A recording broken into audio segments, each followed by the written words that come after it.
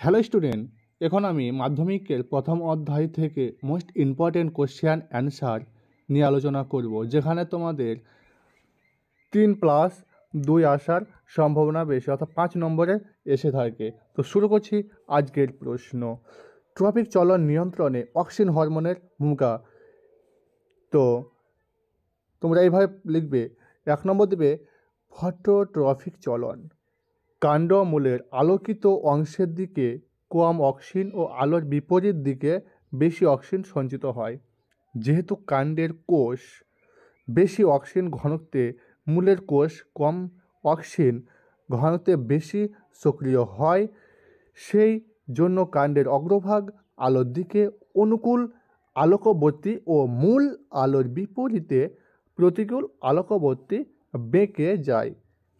দু নম্বর পয়েন্ট দেবে জিওট্রফিক চলন। আনুভূমিকভাবে সাঁয়িত চারাগাছের অভিকর্ষজ প্রভাবে কাণ্ড ও মূলের অগ্রভাগে ভূ সংলগ্ন অংশের অধিক অক্সিন ও বিপরীত কম অক্সিন সঞ্চিত হয়। ফলে কাণ্ড অভিকর্ষের বিপরীতে প্রতিকূল অভিকর্ষবর্তী ও মূল অভিকর্ষ অনুকূলে অনুকূল অভিকর্ষজবর্তী বৃদ্ধি পায়।